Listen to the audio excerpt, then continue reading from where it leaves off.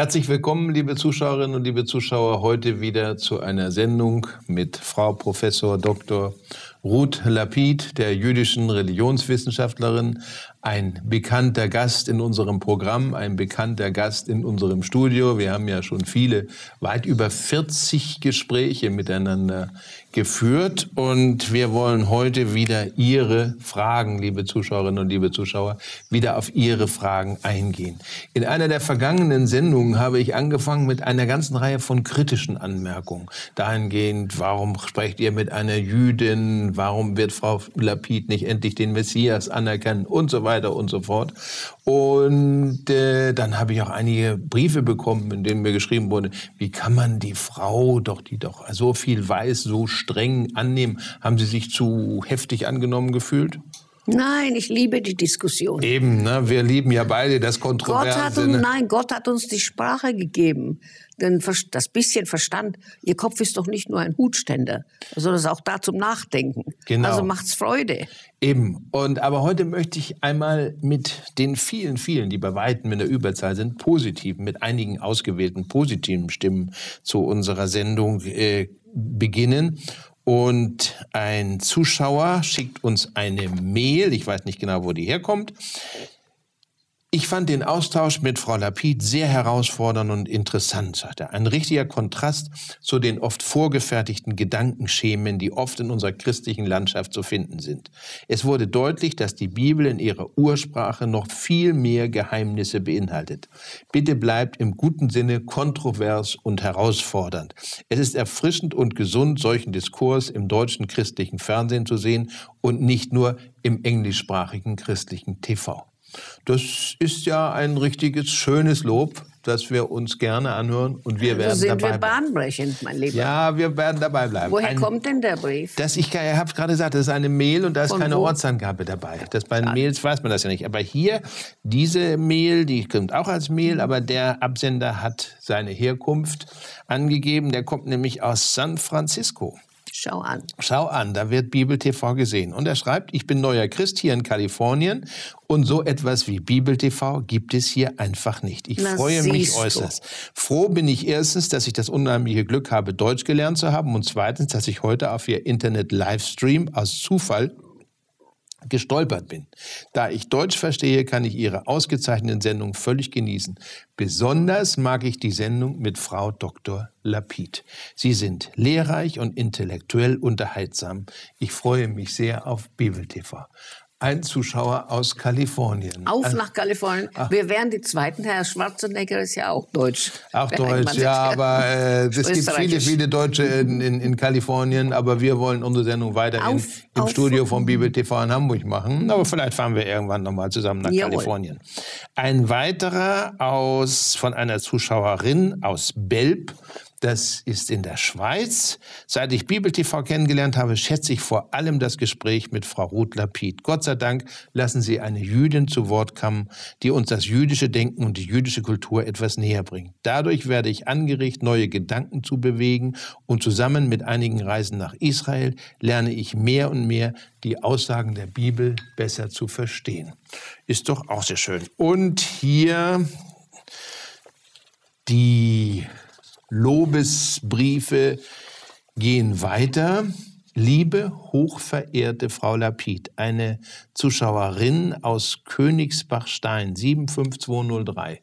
Königsbachstein. Liebe, verehrte, hochverehrte Frau Lapid, Lapid schreibt sie gleich Edelstein. Ich glaube, wir haben mal in unserer Sendung das erklärt. Stimmt nicht ganz. Sie meint lateinisch Lapidus wäre Edelstein. Was heißt denn Lapid? Hebräisch heißt das Fackel.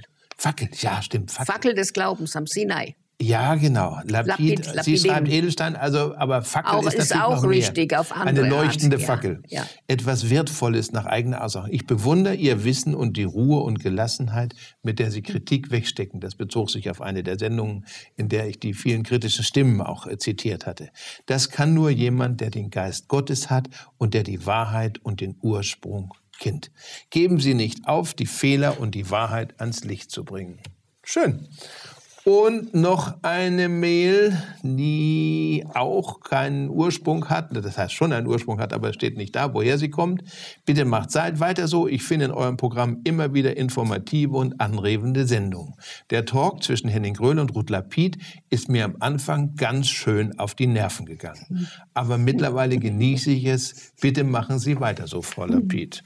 Das kann man uns gar nicht vorstellen, dass jemandem das auf die Nerven gegangen ist. Doch, können wir uns schon vorstellen. Ne?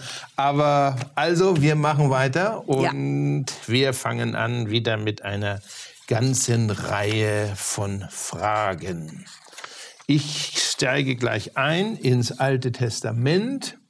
Ein Ehepaar hat uns geschrieben, auch wieder Blue aus der Schweiz.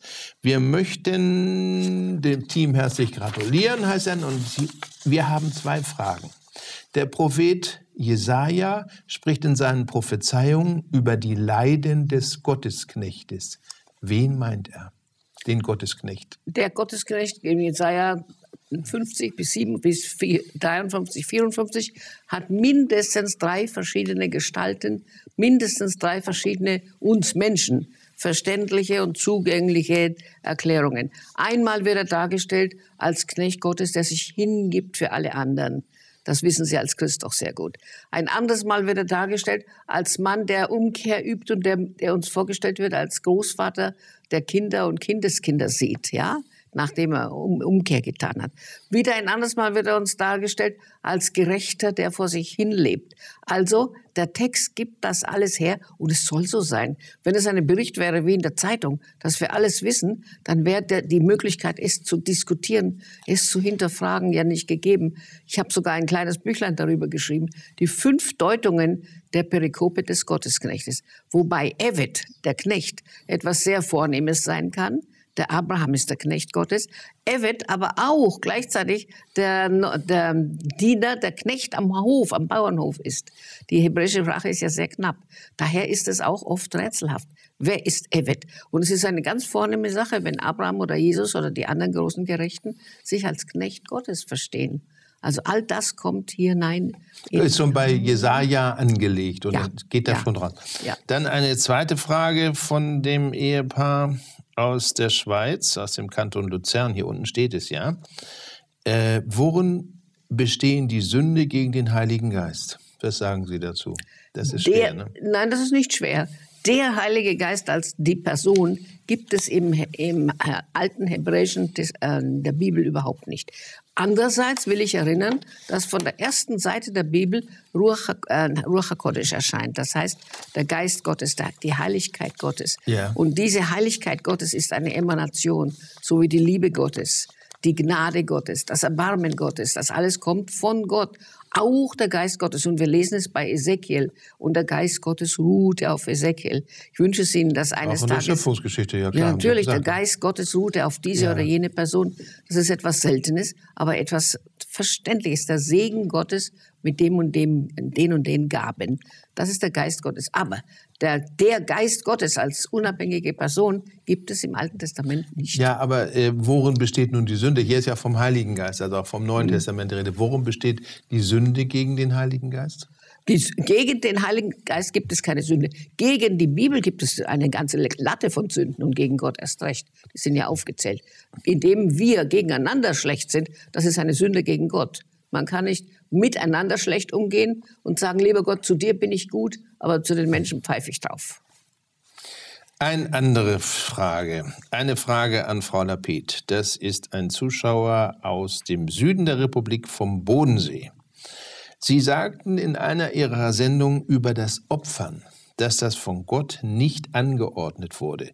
Die Menschen wollten es aber so. Nun sind aber in Moses 3 Mose 3 jede Menge Anordnungen über das Opfern vorgesehen.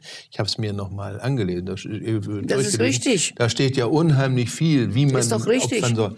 Bitte um kurze Aufklärung. Ja, ob das kurz äh, sinnvoll ja, ist, weiß ich sehen. nicht. Bitte um Aufklärung. Ich habe gesagt, dass bei dem Uranfang des Opferns, nämlich bei Kain und Abel, die uns vorgestellt werden als erwachsene Männer, sie haben keine Arbeitslosigkeit, sie haben keine Sorgen, sie sind versorgt, Und sie fangen an, plötzlich Altäre zu bauen und von ihren Produkten zu opfern. Gott hat kein Wort gesagt. Also, lieber Kain, also, lieber Abel, fangt mal an zu opfern, es geht Aber euch es gut. heißt da Moment, ich komme drauf. Ich komm. Ich habe gehört und ich komme drauf, Ja. was Moses sagt. Ich will damit sagen, der Beginn ist, dass die Menschen ein Bedürfnis haben zu opfern. Und zwar haben sie das von den Nachbarvölkern, von den Kulten, von den Molech und der, bei der sogar Menschen geopfert verlangte, der Molech-Götze. Oder die Asseren und die Astarten, die weiblichen Gottheiten, die obszöne Veranstaltungen verlangten. Überall wurde geopfert. Menschen hat bei Abraham Schluss gewesen. Abraham macht Schluss auf Gottes Geheiß. Das ist Aber die Isaak-Geschichte, ne? Ja. Aber die Tieropfer gehen weiter bis zur Zerstörung des Tempels. Was geschieht jetzt also bei Moses? Moses grenzt die Opfersehnsucht der Menschen ein, indem er sagt, nur zu bestimmten Festlichkeiten, nur zu bestimmten, ähm, von bestimmten ähm, Or- Orga Organen, also Männer, die ausgebildet sind, die bestimmte Messer haben, scharfe Messer, dass das Tier nicht allzu leidet. Nur im Tempel zu Jerusalem, nicht auf jedem Wald und auf jeder Wiese. Wie manchmal denke ich an diese Geschichten, wenn ich durch das Land, durch Deutschland fahre und da steht angeschrieben, heute eigene Schlachtung. Und da zucke ich zusammen und frage mich, wer wird jetzt eigentlich geschlachtet? Heute noch, Ja, ja. in unserer Zeit. Oder eigene Schlachtbrühe, was soll denn das heißen? Die Schlachtsuppe, bis auf den heutigen Tag. Hier ist eine ganz deutliche Eingrenzung. Nur bestimmte Tage und vor allem nur bestimmte Tiere.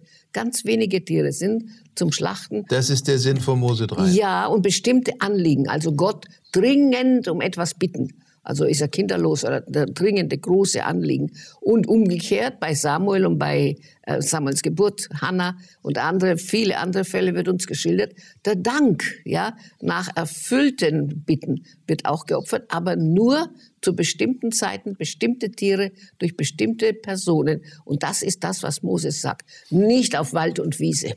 Aber wenn ich Sie richtig verstanden Mhm. habe, am Anfang haben Sie gesagt, dass Opfern vor allen Dingen ein menschliches Bedürfnis Ja, ist. Und das mit Gott letztendlich gar nichts zu tun hat. Gott will nicht, dass Opfer gebracht werden. Mit Gott hat das ja zu tun. Gott ist der Adressat. Die Das ist Menschen flehen Ja. bei Gott an. Aber Aber nicht Gott hat den, den Ausdruck gegeben, mich bedürf, bedarf es, bitte opfert mal drauf los. Aber es steht hier in, in, in der, äh, am Anfang der Bibel, und der Herr, da steht hier Kain und Abel, und der Herr sah gnädig an Abel und sein Ja. Opfer, aber Kain und sein Ja. Opfer Jetzt sah er frage ich Sie, jawohl. an. Da ist doch die handelnde woher, Person Gott. woher wissen Sie, wie Gott es gefällt oder nicht? Haben Sie ein extra Telefon, ein Handy zu Gott oder hatten die es? Na, haben Sie es? Das nein, eben, das betone ich ja.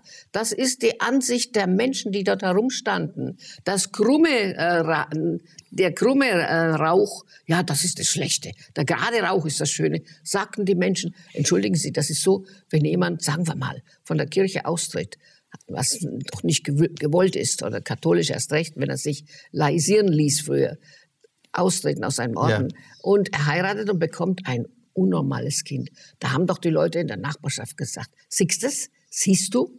Das Ja. kommt, das ist, das ist das die Strafe. Das ist die Aussage der Menschen, die da sagen, ah, nur das ist das, da kommt davon. Aber trotzdem kann man Nein, sagen, der Gott hat nicht gesagt, das gefällt mir nicht, sondern die Menschen ringsherum haben es gesagt. Opfern ist also ein sehr menschliches Bedürfnis, Ja, ja. ein Bedürfnis Sowohl in um- Beziehung vom Mensch zu Gott, Ja, aber so- nicht von Gott zum Menschen. Ja, natürlich. Sowohl in der Bitte um etwas, dringende Bitte, ein Flehen, wie umgekehrt Dank für Ereignis. Aber Opfern sind, Opfer ist nicht sinnlos. Nein, vor allem für die Psyche des Menschen. Für die Psyche desjenigen, der es bringt. Ich hoffe doch, dass er Gott dadurch näher kommt. Wobei wir jetzt auf ein anderes Opfer kommen müssten, eigentlich mit dem Neuen Testament, nämlich dem Opfertod Jesu, der ja, Ja. was ganz anderes ist. Das ist ne? was ganz anderes, das ist ein Martyrium. Ja. Und es ist sehr fein und zart, die Grenze zu beobachten zwischen Opfer und Martyrium. Sehr wichtig, das müssen wir andermal separat besprechen. Jesus von Nazareth ist ein Märtyrer. Schließlich hat er gesagt, niemand, ich zitiere jetzt wörtlich, niemand nimmt mir mein Leben, ich gebe es freiwillig dahin. Kennen Sie dieses ja, Wort? ja, Ja, das ist also ein Märtyrer. ja. Das ist etwas ganz anderes. Ja, ich habe hier gerade reingelesen, noch in einen Brief äh, Opfern, da wird auch wieder auf Mose 3 verwiesen. Also das äh, gibt eine Menge Briefe zu dieser Opferthematik. Haben wir ja jetzt besprochen. Haben wir besprochen und äh, dies ist schon ein ganz interessantes Kapitel, weil Opfer gehört zum religiösen Kult dazu, meines Erachtens. Ne? In welcher Form auch immer. Es ist das wir opfern ja heute auch noch. Es ist das Bedürfnis der Menschen und das ist eine erzieherische Frage. Ist aber Dass man eine Beziehung, es ist ein schlechtes Bedürfnis. Ist kein schlechtes Bedürfnis. Doch, ja, Nein. doch. Denn du kannst zu Gott finden, an Gott Vertrauen haben, wie wir es in, der, in derselben Bibel auch lernen. Nämlich zum Beispiel ähm, ähm, bei der Manna in der Wüste. Ich gebe Ihnen ein anderes Beispiel, ohne Opfer, wo es heißt, Gott gibt euch jeden Tag, es gab ja nichts in der Wüste, außer Wachteln, das sind so kleine Vögelchen Ja. und Manna Ja. und das 40 Jahre lang. Aber niemand des Hungers oder Durstes gestorben in der Wüste, Achtung. Und äh, nun heißt es, dass Gott Vertrauen lernen, dass Gott am Freitag doppelt Portion Manna gibt. Warum? Weil es am Sabbat keine gibt. Man muss nicht hinausgehen in die Wüste und das Manna sammeln. Das heißt, lerne das Gottvertrauen. Es gibt dafür am Sonntag wieder. Nun gab es Leute, die hatten nicht genug Gottvertrauen und gingen am Sabbat, Achan heißt einer von ihnen in der Bibel erzählt, die gingen am Sabbat ebenfalls hinaus in die wilde Wüste und kamen um den Mann, kann, M-A-N, Mann kann in der Wüste nicht allein herumgehen. Das ist ja aus der Bibel und aus dem heutigen Alltag noch bekannt. Sie kamen um in der schrecklichen Wüste. Hier lernst du Gottvertrauen. Das ist zum Beispiel äh, eine andere Facette. Andere, aber äh, ich will es nochmal sagen. Du musst Opfern- nicht durch Opfer Gott, ich will damit sagen, du musst nicht Gott durch Opfer nahe kommen. Aber nein, Opfer ist doch auch eine, Hin, selbst, eine, ein- aber- eine Hinwendung des Menschen zu Gott. Nein, ich, Eine ich, Form zit- von Hinwendung. nein, ich zitiere hiermit den Propheten Samuel. Das ist einer der aller, allerältesten aus den Morgengrauen der Prophetie, der sagt, will denn Gott das Blut der von ihm geschaffenen Tiere? Riecht er gern das Bl- Blut der toten Tiere? Nein, die Menschen brauchen es. Und ich habe ja erklärt, warum. Das Leben war nicht wie heute in Deutschland. Es war hart, es gab schreckliche Krankheiten und Feinde und wilde Tiere, nicht im Zoo, vor ihrer Haustür und Löcher und Dunkelheit und Hass und Krieg. Ja, das Leben war sehr schwer und die Leute suchten eine Möglichkeit, sich zu erleichtern. Samuel sagt Gott vertrauen, nicht hinrichten. Gut. Äh, Wir werden auf das Thema Opfer, glaube ich, im Laufe unserer nächsten Gespräche sicher immer noch mal wieder kommen. Weil es schon ein ganz, ganz interessantes Thema ist und ein ganz wichtiges Thema. Mhm. Ich will Ihnen eins dazu noch sagen. Es gibt, wenn wir nachdenken, und das, das Original ist ja hebräisch, dieser ganzen herrlichen Bibel, auch des Neuen Testaments, das Original geschehen. Jesus sprach hebräisch. Äh, Korban heißt Opfer, ja? Ja. Und auch Paulus verwendet manchmal, wenn er eilig ist, das, wo er, wo er unterwegs schnell, schnell schreibt, wie ich ihn verstehe, Korbanas, hebräische Worte verwendet er. Und dieses Korban kommt von dem hebräischen Stamm Kuf, Resh, Bet, Karov. Die Menschen suchen eine Darnähungsmöglichkeit, Darnahung zu Gott. Und sie probieren es in ja, und sie probieren es auf ganz dumme Art mit dem Tieropfer.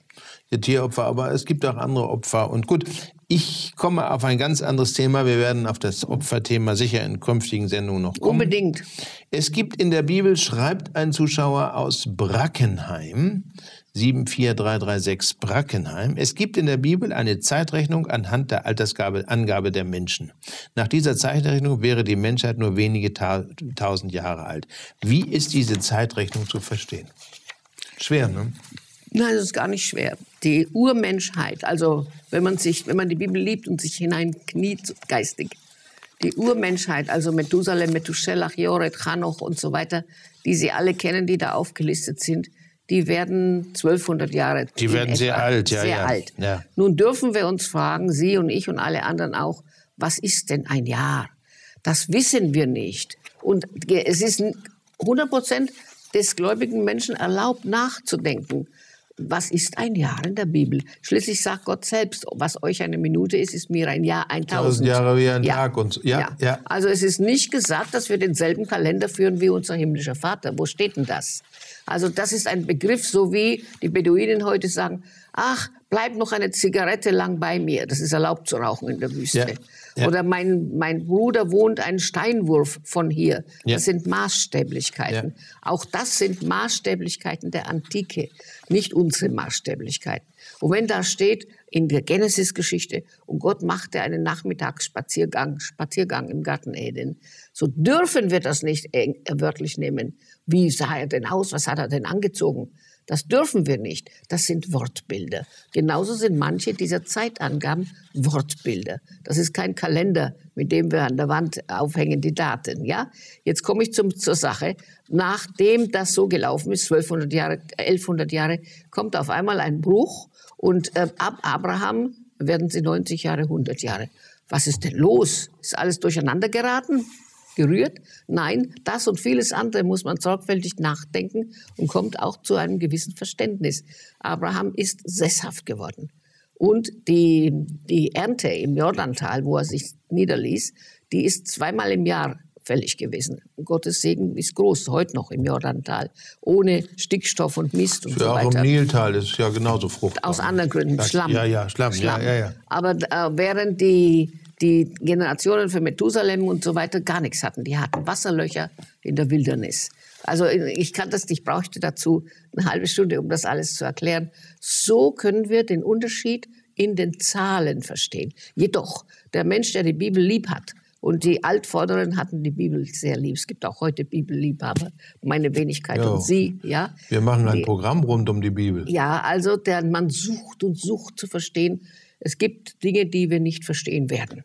Wir werden nicht alles verstehen. Aber je mehr wir uns damit beschäftigen, desto näher kommen wir mancher Frage. Und in diesem Sinne sage ich Ihnen, dass die Zahl an die 6000, von der immer gesprochen wird, dass, dass wir sie heute nach dem hebräischen Kalender zahlen, zählen, daher kommt, dass man alles zusammen addiert. Von Adam ja. bis zu all diesen Personen addiert, addiert, addiert. Und da kommt man zum Schluss zu 6000. Und, aber damit ist nicht gesagt, nicht gesagt, dass damit alles getan ist, nach unserem Kalender. Denn auch wir haben doch furchtbar zerstrittene Kalender. Wieso ist denn das Oktoberfest im September?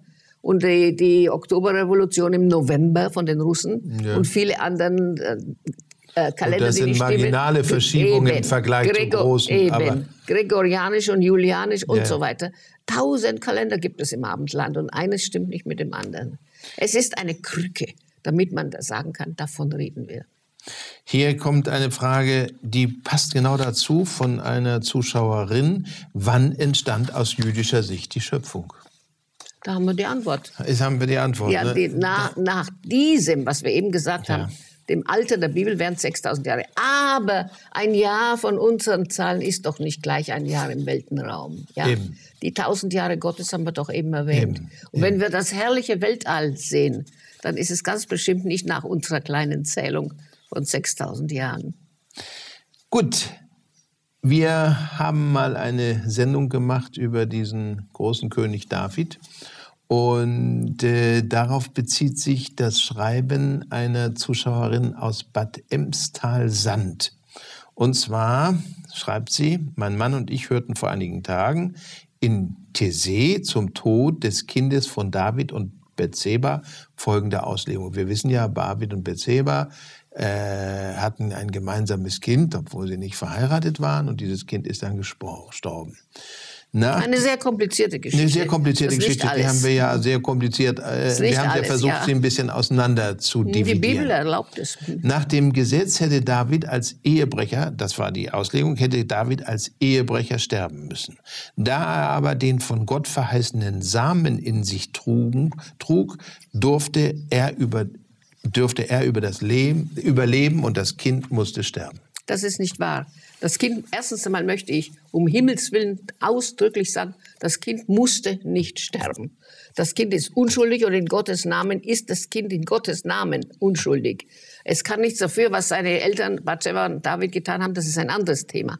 Und das ist eine schreckliche Gefahr, die die Menschen immer wieder hineinbringen. Und David sagt es selber auch. Das Kind, wie ich vorhin sagte, was die Menschen sagen, das kommt davon. Siehst du, siehst ja, du, ja? Ja, ja? Das Kind weiß von nichts und braucht nicht wissen, es war krank, es war elend, es war debil möglicherweise, wir wissen es nicht. Aber es kann bestimmt nichts dafür und wird nicht bestraft für das, was seine Eltern getan haben oder nicht getan haben.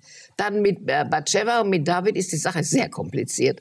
Schließlich wurde der Mann gerufen, der äh, Uriah der Hittiter, wurde extra von der Front herbeigerufen und hätte mit seiner Frau wohnen und schlafen dürfen und können, war eingeladen von David und wollte nicht. Die Geschichte ist sehr kompliziert, also da wollen wir jetzt nicht einsteigen. Also ist diese Auslegung... Das Kind, das ist mir sehr wichtig, weil man oft solche Kindlein, die sterben wegen der ja, angeblichen Schuld ja. ihrer Eltern. Nein, ja, das stimmt das nicht. Du sollst nicht sagen, äh, wegen der Sünde der Eltern. Ja. Du hast eine neue Chance, du Neugeborenes. Äh, es dreht sich immer noch so ein bisschen um Opfer und Blut. Auch die nächste Frage von einem Zuschauer. Interessant fand ich vor kurzem Ihre Einstellung zum Blut. Fragen Sie doch bitte, wie Frau Lapid zu Bluttransfusionen steht. Es gibt ja die Bluttransfusion, die Bluttransfusion heute, es ist ja relativ neu, ja. dass es möglich ist. Nämlich, die ist gar nicht einfach. Man muss das Blut erst reinigen, damit man Krankheiten von anderen, ja. vom Stifter nicht mit übertragt. Das ja. ist eine sehr komplizierte Sache an für sich. Wenn das alles geschieht und möglich ist, um der Gesundheit willen, ja, dass keine HIV und andere Möglichkeiten drin stecken bleiben in dem zu transferierenden Blut, dann ist es um der Gesundheit des Empfängers willen und dann ist es erlaubt erlaubt. Denn alles, was um der Gesundheit willen, ist förderlich und ist erlaubt. Aber es muss um der Gesundheit willen sein. Nicht um der Schönheit willen oder dergleichen Sachen. Ja, dann ist es erlaubt. Auch nicht um Leistungsförderung wie bei den Doping, Doping Blutdoping und so weiter. Davon das, reden wir gar nicht. Das, nein, das ist völlig nein. klar. Das davon kann auch nicht erlaubt sein. Nein, aber es gibt auch die Möglichkeit, um zu schönen, damit du schöner bist, eine ja. schönere Haut hast zum Beispiel oder so. Äh, nein, nein, nein. Aber um der Gesundheit willen und wenn geprüft ist, dass es wirklich gesundheitsfördernd ist. Jetzt noch einmal eine Frage zur Beschneidung. Frau Lapid meinte, die Beschneidung schadet nicht. Christen werden nicht beschnitten und es schadet diesen Männern auch nicht. Im Christentum spielt die Unversehrtheit eine große Rolle. Deshalb eben das Nicht-Beschneiden. Und es kommt dann weiter der Satz, die Christen, Christen, müssen auch keine Tiere grausam schächten, um Gott gefällig zu sein. Das ist, bräuchte ich ein bisschen länger Zeit. Das sind zwei verschiedene Punkte. Ne? Völlig verschieden. Erstens, dieser selbe Christ isst ja bekanntlich Fleisch, wie ich annehme. Ja. Und das ist eine starke Versehrung der Tiere, ja. die er isst. Ja. Und seine Gattin, ich weiß es nicht, ich fra hinterfrage bescheiden. Und seine Frau hat möglicherweise Pelzmäntel, die auch von dem versehrten armen Viech hergestellt wurden. Oder Schuhe, dann müssten sie ohne Tier, Tier heute in Schuhen gehen, aus Stoff, Stoffschuhe. In der jüdischen Tradition geht man zum Beispiel am Yom Kippur, am Versöhnungstag, in die Synagoge, schon seit Jahrtausenden, nicht seit heute, weil es modern ist, nicht in Lederschuhen, weil da ein Tier wirklich sein Leben gelassen hat, so oder so, um Lederschuhe herzustellen, sondern in Stoffschuhe, Turnschuhe. Also, äh, die, der ging aus von der Beschneidung. Das ist eine ganze lange Latte von Fragen. Ja, ja, ja, ja. Wir reden, wir sprechen davon, dass sie wirklich nicht schädlich ist. Im Gegenteil, sie ist gesundheitsfördernd. Und ich will nicht Namen nennen, es ist bekannt, ganze honorige Familien lassen ihre Buben beschneiden, weil es gesundheitsfördernd ist, ja, gegen Krebs und alle möglichen. Keine Gefahr, das sowieso. Aber es hat einen Sinn. Es ist eine Nachdenklichkeit, keine Gefahr ist da, aber die Nachdenklichkeit ist da. Die Beschneidung dient als Erinnerung. Man kann ja dein Herz nicht beschneiden und deinen bösen Willen nicht beschneiden. Nicht alles zu tun, was möglich ist und nicht alles zu wollen, was machbar ist. Und da wird dieser kleine Schnitt gemacht, der noch nie jemanden geschädigt hat. Aber das gibt Anlass zu großem Nachdenken. Musst du alles tun, was möglich ist? Das ist auch der Sinn der, der Gebetsriemen die ein, diesen, äh, dieses Band beim Mann am Kopf haben, am Arm und an der Hand das Denken, das kommt zuerst, das unbedingte Wollen im Herzen und wenn es dann nicht aufpasst, dann kommt der Griff mit der Hand. Mhm. Also das ist eine Hinleitung, eine Nachdenklichkeit für ein besseres Miteinander. Wir Menschen. Und noch ein Satz zum Schächten von Tieren. Ja, das ist natürlich auch ein, klar, ein, das brauche ich ein, eine extra Sendung dazu, ja. äh, der, der, wenn du ein Tier fragst, machen Sie doch mal eine Umfrage, was den Tieren lieber wäre. Liebes Tier, möchtest du lieber geschlachtet werden oder möchtest du lieber angeschossen werden und im Wald gejagt werden? Was wäre dir denn lieber? Was wird das Tier antworten? Lass mich in Ruhe. Lass mich in Ruhe. Weder ja. noch, ja. ja.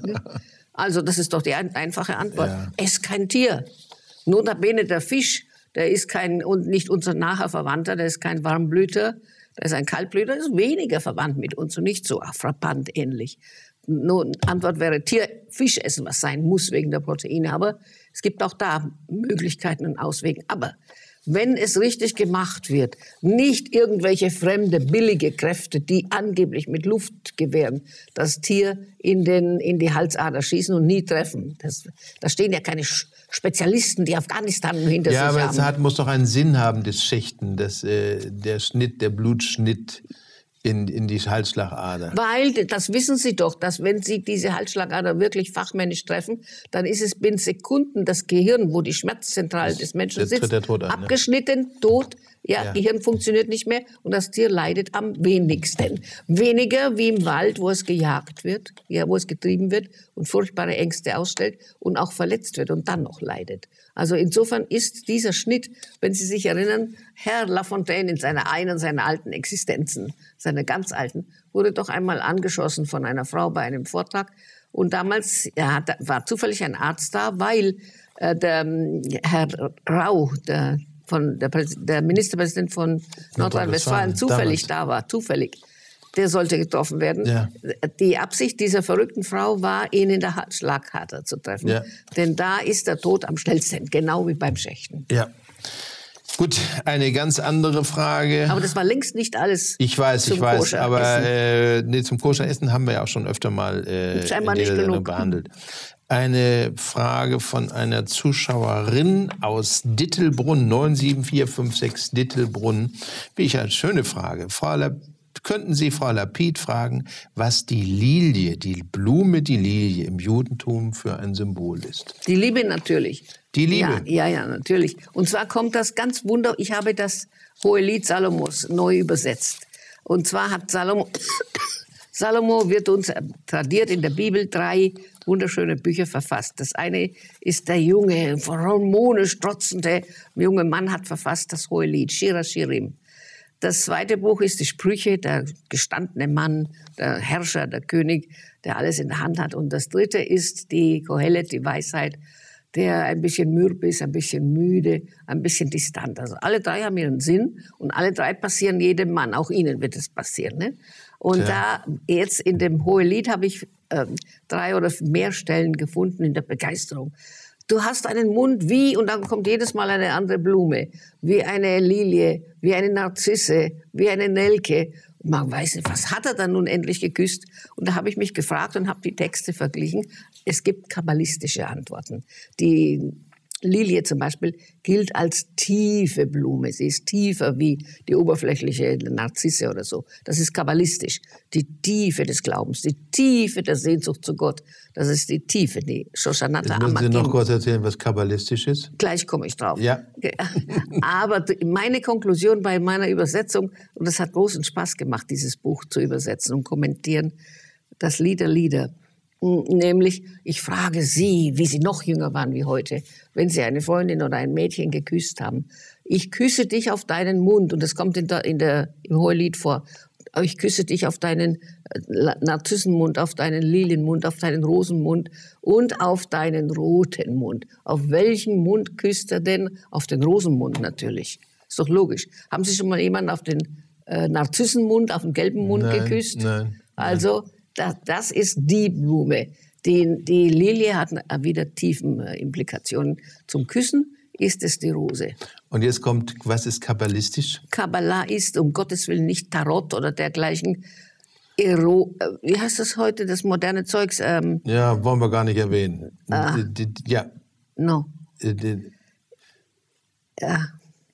no, helfen Sie mir einmal. Astrologie also, der- oder? nein, die, was alle suchen, die, na gut, das ist ein Zeichen, es fällt mir gar nicht einmal ein, was man nicht suchen soll.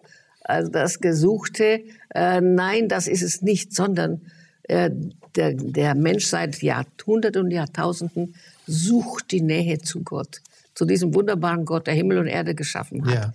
der diese herrlichen, ich habe vorhin gesagt, Emanationen, Strafe, Vergebung, Sünde, Erbarmen, Messianität, Auferstehung, der all das gibt, die Sehnsucht, diesem Gott noch näher zu kommen. Davon kommen die herrlichen Sabbatlieder. Das ist die Kabbalah. Gott näher kommen zu wollen. Das ist nicht Religion, du musst das nicht können. Aber wenn du Sehnsucht hast, dann gibt es Literatur. Gut, äh, wir haben ein Schreiben von einem Zuschauer aus Hamburg und er bittet um Informationen über den Begriff Maranatha. Ja.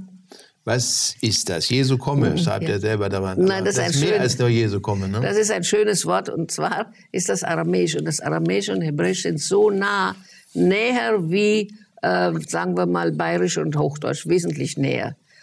Äh, Maranatha heißt das.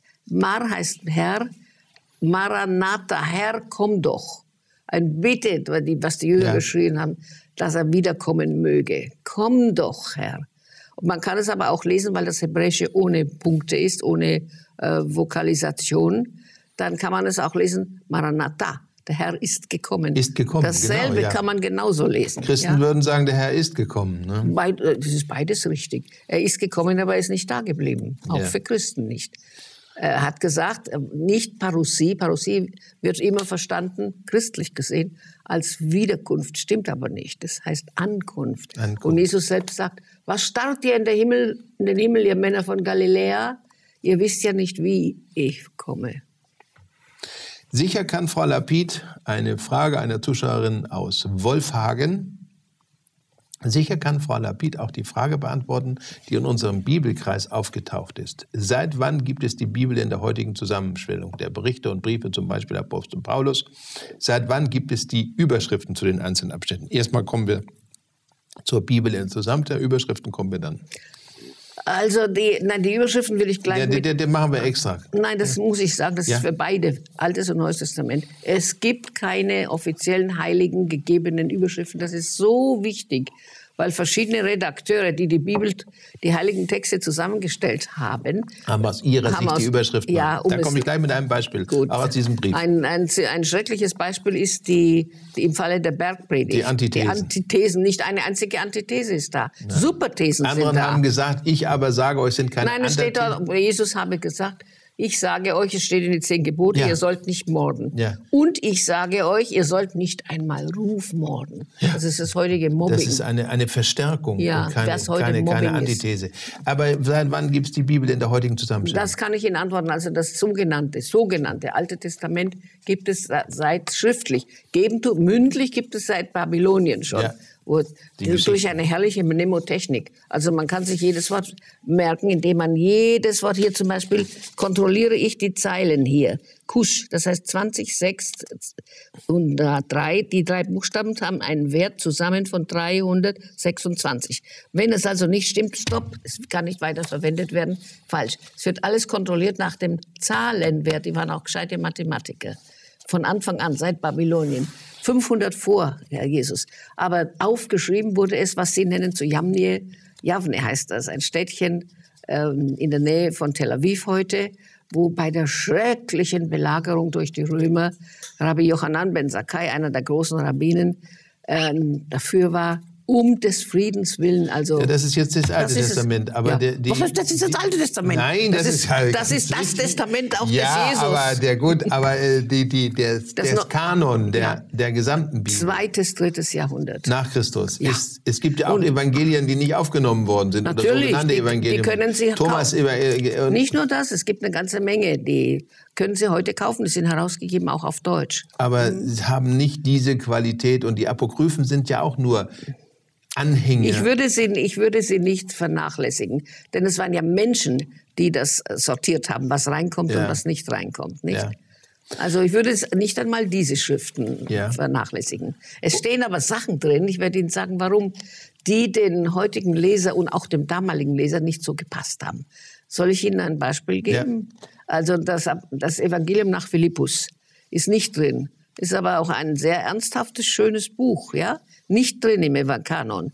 Warum? Da gibt es eine Stelle drin, das ist nicht von mir, es ist echt, ja. Da steht, dass die Jünger zu Jesus gesagt hätten, warum liebst du Maria so sehr, mehr wie uns und küsst sie öfters auf den Mund? Das war Maria Magdalena, ne?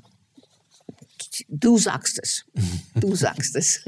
ja, gut. Äh, wir haben äh, die, aus diesem Brief geht noch hervor, was mit den Überschriften. Die Überschriften sagen, sie sind überhaupt nicht Bestandteil der Heiligen Schrift, die Überschriften Nein, das sind später irgendwann die, mal Sie haben. Sie haben, Sie und viele andere Leute haben eine Tendenz zum Verallgemeinern.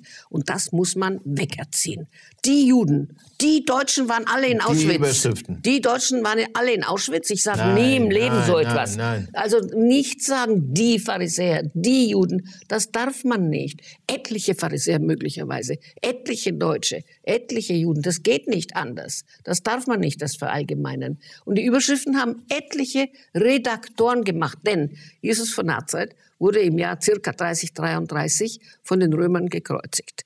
Kreuzigen, nur in Klammern sei es gesagt, durften nur die Römer. Ja. Verurteilen zum Kreuz durfte nur der Prokurator, das war Pilatus. Aber er hat die Juden gefragt, wen wollt ihr? Das ist doch eine Legende. Das ist so wie Eichmann. Eichmann hat die Rabbiner in Budapest gefragt, na liebe Juden, wen wollen wir denn heute nach Auschwitz schicken? So ist das. Das ist die Gestalt von Pilatus, nicht? Pilatus hat genau getan, was er gewollt hat. Genau wie das Händewaschen, eine rein jüdische, jetzt wo man wegen der Schweinepest sich waschen soll. Eine Grippe. Ja, Schweinegrippe. Schweinegrippe. Sich wa- waschen soll, da denke ich immer an das Waschen bei den Juden, weil das von der Tora her schon ist. Waschende Hände in Jawohl. Unschuld, ja. Äh, aber jetzt noch einmal, ich finde dieses Beispiel so schön, was diese Zuschauerin da gebracht hat. Manche dieser Überschriften scheinen uns nicht den Sinn der Aussagen des zugehörigen Textes Hat zu sie doch treffen. recht. Zum Beispiel der verlorene Sohn, schreibt Hat sie. sie recht. Und das ist ja gar kein verlorener Sohn. Nein, das ist der, eine komplizierte Der kommt Geschichte. ja wieder nach Hause und ich habe das die ganze Geschichte ausgelegt und erklärt und ein kleines Büchlein draus gemacht. Wir können einmal drüber reden. Es ist eine spannende, schöne Geschichte. Die Auslegung der Geschichte vom verlorenen Sohn Des in dem sogenannten- Jesusbuch durch, äh, durch den Papst Benedikt, äh, das Jesusbuch finde ich auch hervorragend. Das, äh, aus dem Lukas-Evangelium ist die Geschichte. Ja. Da sind viele noch unbekannte Geschichten. Äh, eine weitere. Wir Auch eine Geschichte von den bösen Samaritanern. Lukas Ja. Kapitel 9. Ja, der barmherzige Samariter, die Eben Geschichte. nicht. Eben nicht, ja. Äh, wir äh, kommen auf ein, wieder ein Reizwort. Sie äh, haben, sagen mehrfach, Jesus war Pharisäer. Mhm. Und äh, ich finde, wir sollten erstmal den Unterschied zwischen Pharisäern und Sadduzäern, das schreibt nämlich auch eine, eine Zuschauerin hier, aus Paderborn, nein, ein Zuschauer aus Paderborn, erstmal erklären. Was sind Pharisäer? Na, da brauche ich auch wieder eine halbe Stunde. Ich habe einen Vortrag. Wir haben heute schon eine Stunde Sendezeit. Ja, also es geht in jenen Tagen, man soll nicht verallgemeinern, bitte nicht verallgemeinern. Selbst in der CDU, selbst in dem Katholizismus gibt es da nicht verschiedene Tendenzen und Richtungen, oder? Ja, natürlich. Ja? Natürlich. Also dann haben wir es von Opus Dei bis zu den Nonnen und so weiter. Ja, klar. Also da gab, gibt es auch immer wieder verschiedene Tendenzen. Immer. Nie die Pharisäer, die Deutschen, die und immer etliche. Aber was ist ein Pharisäer? Man muss es doch Ja. definieren können, Gut, dann umschreiben gehe ich jetzt wie am deutschen Fernsehen nicht eliminiere. War Jesus etwa ein Essener? War er nicht. Was sind die Essener? Essener ist die Gruppe von ca. 500 Mann, die super fromm am Toten Meer saßen und den Messias Stunde für Stunde erwartet haben. Ja. Warum? Weil Gottes Erbarmen sich schon einmal gezeigt hatte in der Wüste beim Auszug aus Ägypten. Also wird es wieder in der Wüste passieren. Eine wundervolle, schöne Geschichte. Und wir finden Essener auch bei Jesus in der Verkündigung auf ganz bezaubernde Art andermal. Und, äh, aber er war kein Essener, er hat eklektisch mal ja, mal nicht aus ihren Lektionen ge gezehrt. Das macht man ja heute auch. Gut, die Essener. Dann haben wir die Pharisäer. Nein, jetzt haben wir die Sadduzäer. Sadduzäer, ja. Sadduzäer sind die Nachfahren von einem Prophet, von einem Priester namens Zadok. Und das sind insgesamt, Achtung, 40 Familien, nicht mehr. Nicht die Sadduzäer. Das waren die Leute, man darf sagen, die Kuria von Jerusalem. Denn der Tempel war ein Riesenunternehmen, ähm, kassierte die Spenden von den Vermögenden, verteilte sie anonym an die Bedürftigen, kassierte die Zehntabgaben, kassierte die Spenden an groß, von großen Güterbesitzern. All das auf dem Compound vom Heiligen Berg in Jerusalem, vom Moriaberg, ja. Und all das und die Pflege des, der Feste, die drei Wallfahrtsfeste, heute wallfahrt man doch wieder so gern, kommt auch von daher. Die Pilgerfeste, Ja, das waren die Sadduzäer. Mit denen hatte Jesus von Nazareth. Das waren bestimmte Familien, in die man hineingeboren wurde. Man Ja. konnte nicht zum also Sadduzäer lernen oder sowas. Man kann ja, es gibt keine Geheimnisse im Judentum. Sie Nein, können aber- alles lernen. Aber, Aber man, man kann, kann- nicht werden. man kann es nicht werden, das- Nein, das meinte ich ja. damit. Aber es gibt keine Geheimnisse. Und was waren jetzt die Pharisäer? Moment, ich will was sagen. Mit den Sadduzäern hatte Jesus ein großes Streitgespräch. Das einzige Streitgespräch. Und zwar ähm, fragen sie, was geschieht denn, wenn ein Mann nacheinander fünf oder sechs oder vier oder fünf Frauen hat in seinem Leben und sie sterben alle? Jenseits mit welcher Frau wird er dann Händchen haltend sitzen? Und da wird er sehr wütend. Die Frage ist gar nicht so aufregend. Ich kenne Minister, die nebeneinander eine Menge Frauen haben, oder? Sie doch auch, nicht? Ja, ihr klar. auch. Gut, Ja, jedenfalls. Äh, da wird er sehr böse und sagt, ich habe euch doch schon öfters gesagt, es geht nicht um das Körperliche bei der Auferstehung, bei der Auferweckung. Es geht um das Geistige, Seelische, ja? Also wollen Sie, dass wenn Sie einen lieben Menschen verloren haben, ihn wiedersehen als Baby oder als Bräutigam oder als 40-jähriger starker Mensch oder als 60-jähriger Das ist das Gespräch mit den Sadduzäern. Ja. Das waren also Das ist das Streitgespräch. Ja, das Streitgespräch. Und jetzt gibt es die mit Pharisäer, die ihn immer Pharisäern- versucht haben. Die und die Pharisäer haben ihn überhaupt nicht versucht, Doch, mit sondern denen er diskutiert Nein, hat. die Sadduzäer waren seine Leute. Die mit Pharisäer. Denen, ja, die Pharisäer. Wer, wer, wie wird man Pharisäer? Pharisäer kann man, wenn man es lernen. Die haben es alle gelernt. Kann, Man lernt es. Man, lernt, man lässt seine Kinder erst einen Beruf lernen, damit er selbstständig ist das Leben lang. Wieso sind sie alle Fischer und Schreiner und Simon der und Kerber? dann, äh, Erst ist einen ein, Beruf. Ist eine Das bestimmte theologische Das Gattung, ist eine oder? Lektion für heute. Erst ein Beruf und, Und dann, dann- geh und lerne die Torah, damit du ein Lehrer, ein Professor werden kannst. Also Aber Pharisäer nicht sind die, die, die Bibellehrer. auch, ich habe doch eben gesagt, sie sind vor allem herrliche Berufsleute. Ja.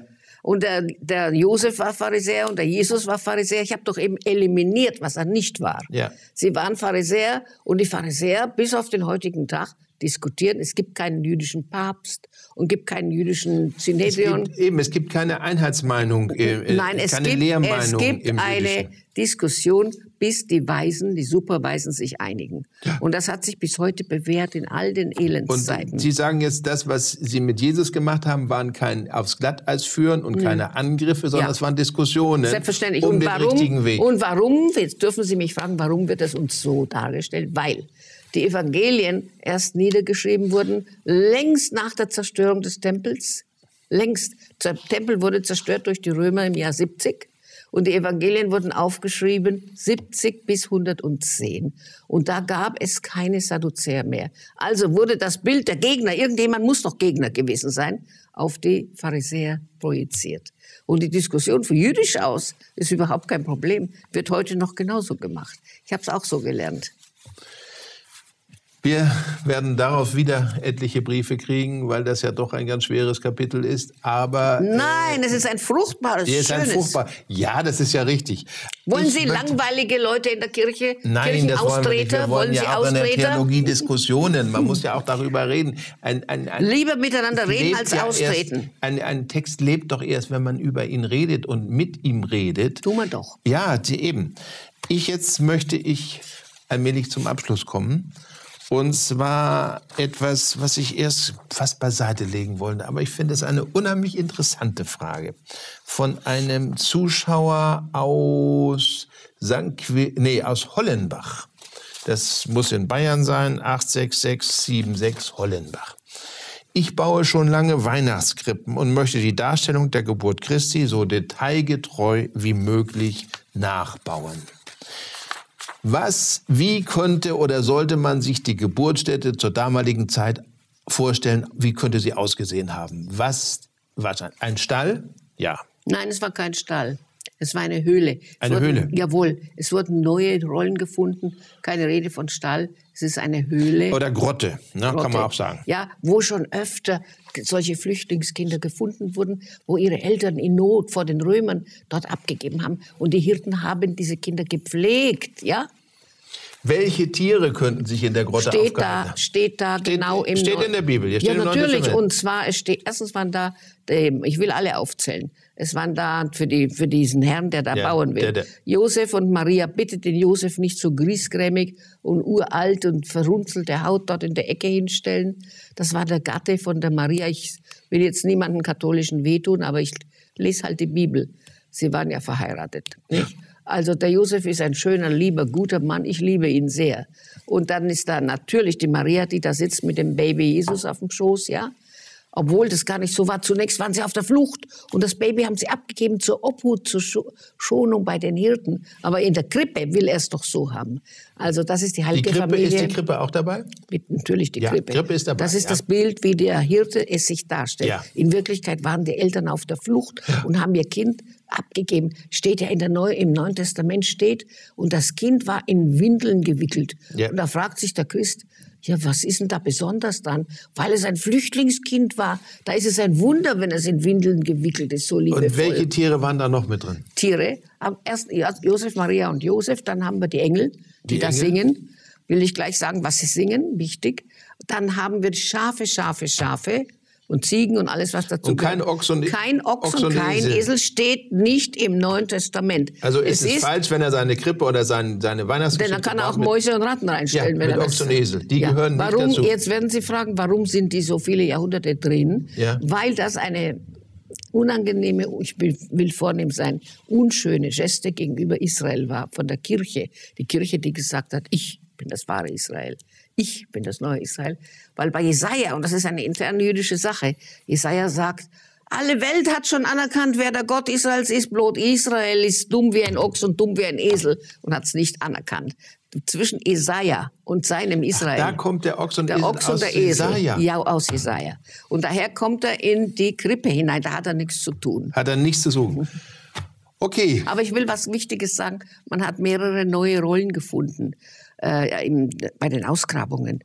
Und da hat man gefunden, dass das schöne Lied, das Sie in Ihrer Kindheit gesungen haben, Ehre sei Gott in der Höhe, Dass den- die Engel singen. äh, das Engelslied, Ehre sei Gott in der Höhe, Friede auf Erden, Und den den Menschen Menschen, ein Wohlgefallen. Das haben sie gesungen. Aber die Rollen, die neuesten Rollen und die Psalmen und die Texte sagen was ganz anderes. Die sagen nämlich, und das ist jetzt in den christlichen Texten meistens auch schon gedruckt drin, nämlich Ehre sei Gott in der Höhe, Friede auf Erden, den Menschen seines Wohlgefallens. Seines, ja. Was ist ja. der Unterschied? Wenn es den Menschen ein Wohlgefallen und dann ist auch Hitler und sowieso dabei, ja? Ja. Ist es aber den Menschen seines Wohlgefallens, dann ist es eine Einladung. Seid anständig, seid gut, dann wird, werdet ihr Gott gefallen und Segen bekommen. Liebe Frau Lapid, wir haben heute ganz lange miteinander geredet, weil das der Wunsch von vielen Mhm. Zuschauern war. Und ich möchte Ihnen ganz, ganz herzlichen Dank sagen für die vielen, vielen Erklärungen. Ich hab so gern gemacht. Spontan aus Ihrem Wissen, wir haben das ja nicht vorbereitet oder irgendwas. Nein. Sie haben auch nicht vorher nachgeschlagen. Das haben Sie alles parat und das finde ich ganz toll. Ganz, ganz herzlichen Dank und Ihnen, liebe Zuschauer, vielen Dank, dass Sie heute wieder dabei waren bei dieser, Seid wie ich fand, liebe Zuschauer ja spannenden Sendung. Herzlichen Dank.